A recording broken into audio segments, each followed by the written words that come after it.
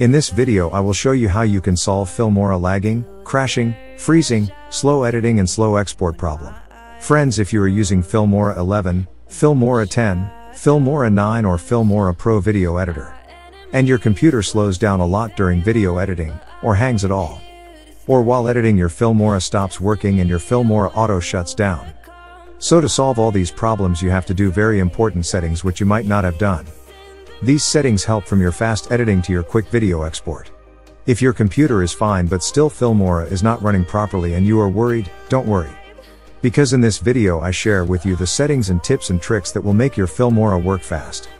Your Filmora won't hang. Friends, this video has the solution to all your problems.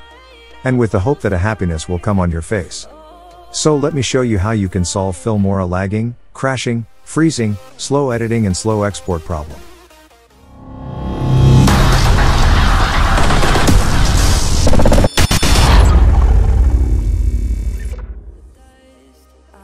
Hello video editors. I am Salih Ali. Welcome to Salih Tutorials. First of all when we create a new project we have to make some settings which make our computer very fast. We have to delete old proxy, render files, render files etc. and unnecessary stuff. For this you have to find Wondershare Filmora folder inside your computer. This is usually inside the Documents folder on disk C. Double click this folder. Here you will find many folders. Just like I'll delete some things here, you can delete them in the same way before creating your new project. Remember that you have exported your old project, otherwise your old project will be deleted and cannot be recovered. When you have verified that you have finished and exported all your projects, after that, double click on the backup folder here. Select all the backup files here. Right click on it. And click delete.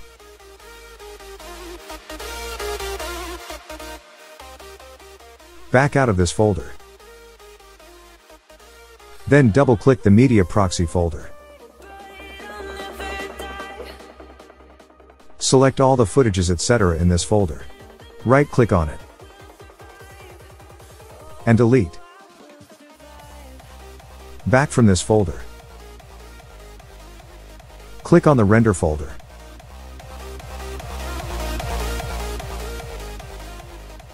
Also delete all the files inside this folder.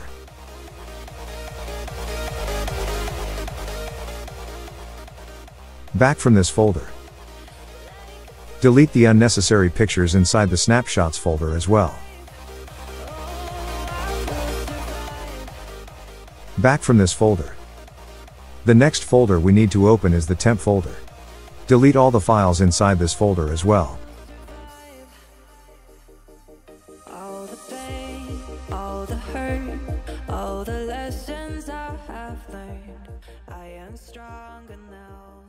We have deleted almost all the unnecessary files inside the Wondershare folder. Now close this folder. Delete the files inside the recycle bin on your desktop. Right click on recycle bin and click on empty recycle bin. Yes. After doing this, you have to press Windows key or button from your computer. Then you will see run window. Inside it you have to type percent %temp%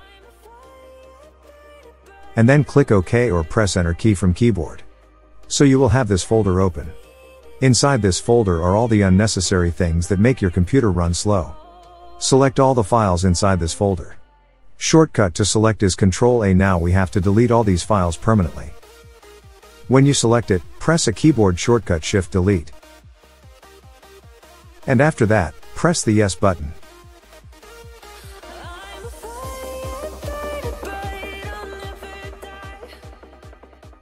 If some files are not being deleted, then skip it.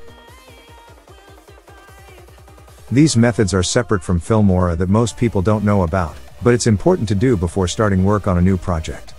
After doing this we have some other necessary settings that we need to do inside Filmora. Open your Filmora video editor for this.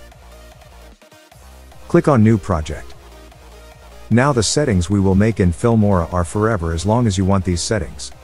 I mean the settings I do here only have to be done once. Click File on the top left inside the software. Then click on Preferences. Click on the Folders tab here. If you have selected a desk of your computer here in which you have very little free space. And that's why your Filmora is suffering from various problems again and again. So for this you have to change the files folder and select a desktop in which you have free space.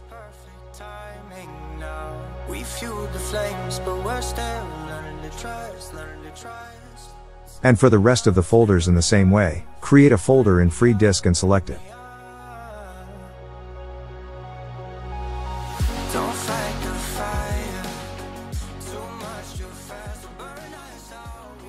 Next, click on the Save tab.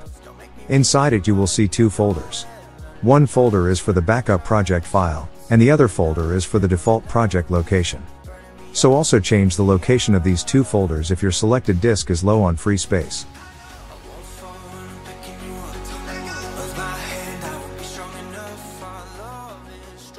After that, click on Performance tab. Do the same settings for here turn on the tick of Enable Hardware Acceleration for video rendering and playback. Also turn on the Enable Hardware Acceleration for video decoding button. If you have the Preview Render button turned on, it should be turned off. Also change the location of the preview render files, and if your selected disk is running out of space. Automatically delete render files when a project file is closed. This option is not helpful for everyone. But if you follow the method I told you earlier, it will be very beneficial for you. Next, there is the proxy option which I find very important to configure. And within it select proxy according to your computer or project. Here I recommend you the middle one. That is, you select 1920 by 1080 here. And similarly change the proxy location if your selected disk lacks free space. And below the option of automatically delete proxies when a project is close, leave it too. Rather, it would be better if you follow the method I told you to delete the proxy, render file, etc. Below is the render option.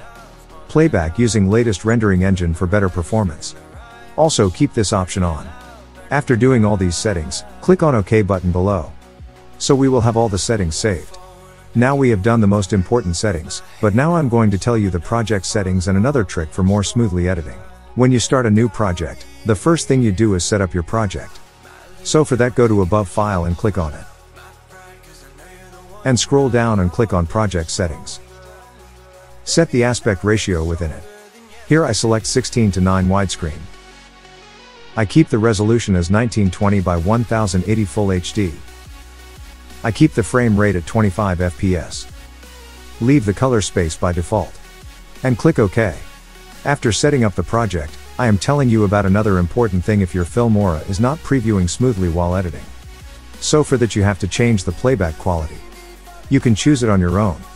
If you have full then the video will be previewed in full HD quality but it is not easy to play it smoothly. Half, one quarter or one sixth option below full allows us to easily preview any video. Here I recommend you one quarter.